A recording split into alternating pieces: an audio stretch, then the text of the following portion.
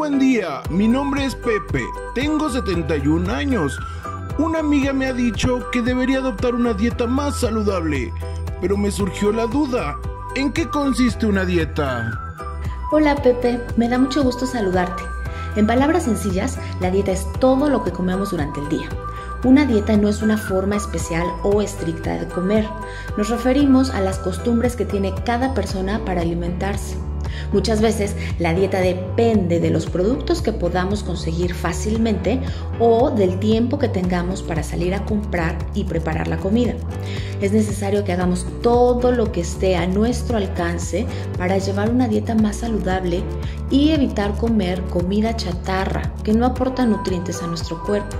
Preferir alimentos naturales y frescos es un buen principio para encaminarnos a una dieta sana.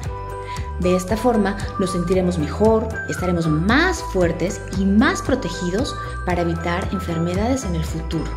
Mmm, entonces, ¿una dieta no es para bajar de peso?